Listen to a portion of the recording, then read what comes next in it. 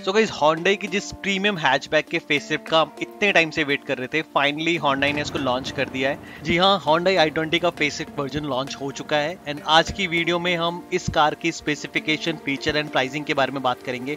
And देखेंगे कि ये जो फेसलिफ्ट वर्जन आया है, इससे आप खुश हुए हो या डिसअपॉइंट हुए हो? सो so गाइस अगर अभी चैनल में नए हो तो please subscribe to our channel because ऐसी इन्फॉर्मेटिव वीडियोस हम आपके लिए बनाते रहते हैं। सो so गाइस सबसे पहले बात करते हैं इस कार में मिलने वाले इंजन स्पेसिफिकेशन की। तो इस कार में आपको 1.2 लीटर पेट्रोल इंजन का ही ऑप्शन मिलता है। बात करें ट्रांसमिशन की तो ये कार आपको मैनुअल एंड ऑटोमेटिक दोनों ट्रांसमिशन के साथ आती है। बात करें इस कार की प्राइसिंग की तो इसके मैनुअल ट्रांसमिशन का प्राइस स्टार्ट होता है 6.99 लाख एक्स शोरूम से एंड जाता है 9.97 लाख एक्स शोरूम एंड वहीं बात करें इसके ऑटोमेटिक ट्रांसमिशन की तो इसका प्राइस स्टार्ट होता है 9.37 लाख एक्स शोरूम एंड जाता है 11 लाख एक्स शोरूम तक। सो गाइस अब बात करते हैं इस कार में मिलने वाले एक्सटीरियर चेंजेस की। सो गाइस अब इस न्यू फेसलिफ्ट में आपको new LED headlamp setup with signature DRL देखने को मिलेंगे। इसके साथ साथ आपको पैरामेट्रिक ज्वेल पैटर्न डिज़ाइन में ग्रिल भी देखने को मिलेगी। इसके अलावा बोनट में भी इन्होंने बोल्ड करेक्टर लाइंस का यूज़ किया है, जो की कार को थोड़ा और ज़्यादा एग्रेसिव लुक दे रहा है। सो गाइज़ आपके रेफरेंस के लिए मैं इसके पुराने वर्जन और इसके फेसलिफ्ट दोनों की इमेजेस डाल रहा हूँ। आप मुझे कमेंट सेक्शन में बताओ कि आपको दोनों में से ज़्यादा अच्छे किसके लुक लग रहे हैं। बात करें कार के साइड प्रोफ़ाइल चेंजेस की तो अब इसमें आपको 16 इंच के न्यू अलाइबल सेटअप इसके साथ साथ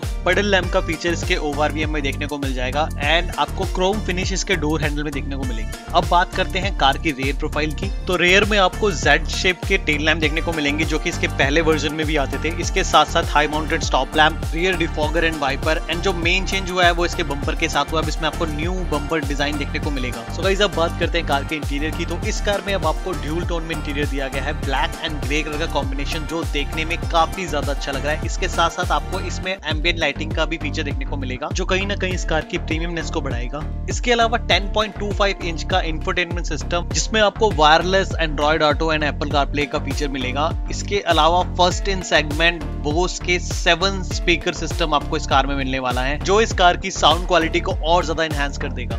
इसके अलावा automatic AC wireless charger rear AC vent and electric sunroof जैसे फीचर्स भी इस कार में आपको मिलेंगे। अब बात करें इस कार में मिलने वाले सेफ्टी फीचर्स की तो इस कार में आपको स्टैंडर्ड सिक्स एयरबैग का ऑप्शन मिलता है। इसके साथ साथ electronic stability control hill start assist control emergency stop signal isofix child seat mount driver rear view monitor and TPMS जैसे सेफ्टी फीचर्स भी इस कार में आपको मिलते हैं। बट एक चीज़ जिसने मुझे थोड़ा डिसअपॉइंट किया है, वो है इसका इंजन ऑप्शन का कट डाउन हो जाना। अब इसमें आपको टर्बो इंजन का ऑप्शन नहीं मिलता बट हो सकता है इसके एनलाइन सीरीज़ में आपको टर्बो इंजन का ऑप्शन मिल जाए बट फ़िलहाल आपको टर्बो इंजन का ऑप्शन अब आई में नहीं मिल रहा है। तो आपको इस फेसलिफ्ट के चेंजेस कैसे लगे, मुझे कमेंट सेक्शन में ज़रूर बताइए। एंड क्या आप अभी भी हॉन्डे की तरफ़ से आने वाली इस प्रीमियम हैचबैक को लेना चाहोगे, या फिर इस सेगमेंट की किसी और प्रीमियम हैचबैक की तरफ़ जाओगे?